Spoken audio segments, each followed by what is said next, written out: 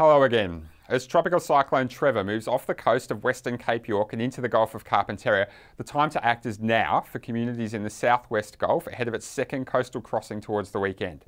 Currently a Category 1 system just to the southwest of Weipa, Tropical Cyclone Trevor will intensify rapidly today.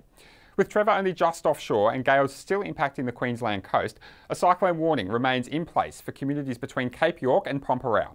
The watch area extends further south to Kowanyama and then right along the western and southern Gulf coasts from Nhulunbuy in the Northern Territory around to Burketown in Queensland. The warm waters of the Gulf and favourable conditions in the atmosphere mean there isn't a lot to stop Cyclone Trevor from becoming a large, powerful and extremely dangerous cyclone. We should see Trevor reach severe Category 3 already by this afternoon and then reach Category 4 intensity from Friday. Gales are expected on Groote Eylandt from Friday, and at the core of the cyclone, we may see wind gusts as high as 250 kilometres per hour as it approaches the NT coast.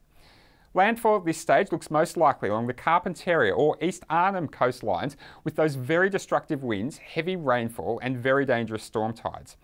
Daily rain totals are likely to be in the range 200 to 300 millimetres near the core of the system and around 100 to 200 millimetres a little further afield. Trevor may maintain tropical cyclone intensity for at least 24 hours as it moves inland, with those heavy rains and damaging winds continuing.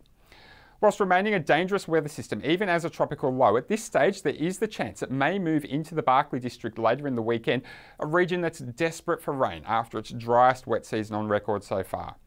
Cyclone Trevor poses extreme danger for communities around the Gulf. Finalise your preparations and have your cyclone kits ready. Know your plan to stay safe as the cyclone approaches and follow all advice for emergency services. Stay in touch with us on our website, app and social media for all the latest cyclone forecasts and warnings.